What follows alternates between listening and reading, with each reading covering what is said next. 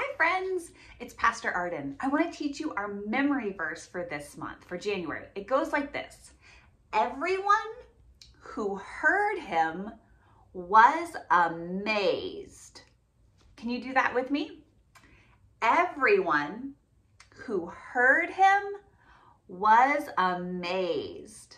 And that verse just reminds us that everyone who heard Jesus speak, was amazed at what they learned from Jesus. So let's do it together one more time. Everyone who heard him was amazed. All right, great job, my friends. Keep practicing. See you next time.